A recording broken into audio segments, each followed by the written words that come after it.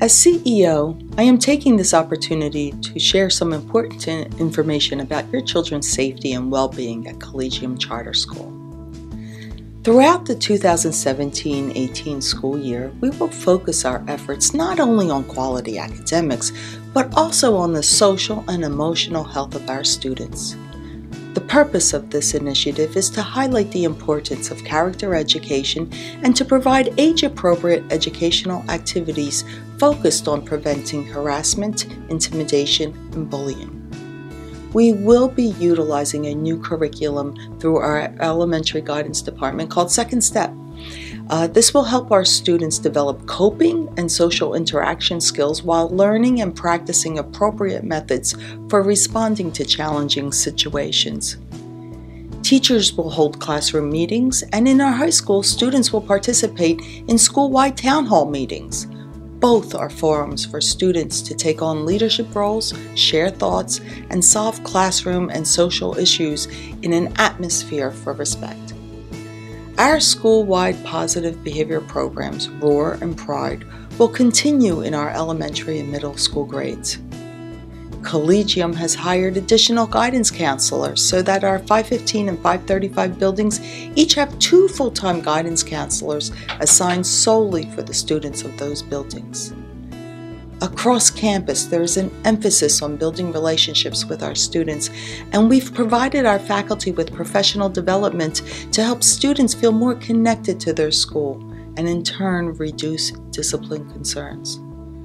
We pride ourselves in knowing that our students are known by their teachers. Clearly, the message to our students and to our community is that hurtful language or hurtful behavior in school, on school grounds, or on our buses will not be tolerated, not in our house. The beginning of the school year is an optimal time to share some simple tips with families to support our initiatives and subsequently your children's emotional growth. We seek your commitment in making CCS a hate-free community. So, to that end, take time each day to have a conversation with your children about their day-to-day activities Lead by example with signs and expression of kindness. Discuss situations with your children's teachers and principals before posting situations on social media and crowdsourcing responses.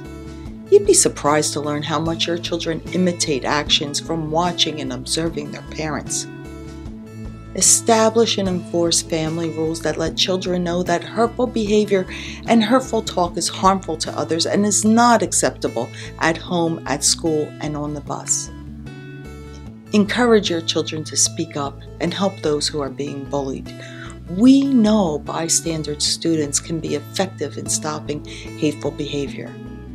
And finally, talk with your children about cyberbullying and the impact of sending mean, cruel, or threatening internet or text messages. We encourage you to keep the lines of communication open between your family and your children's teachers and principal by reporting directly to the Collegium any concerning information your children relay to you. As you have heard, we are committed to our initiatives and programs.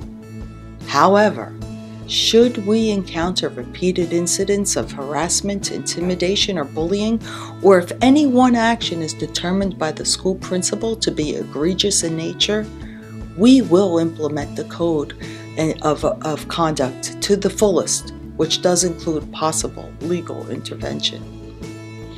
Please believe, after my recent health issue, I've seen firsthand the kindness and compassion of the entire Collegium community, and I thank you for that.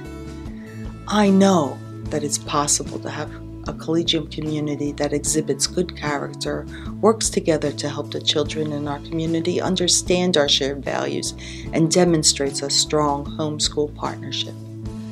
We need you as our partners. So, on behalf of our staff, I appreciate your cooperation and support in helping to make CCS a safe and comfortable place for learning. Thank you.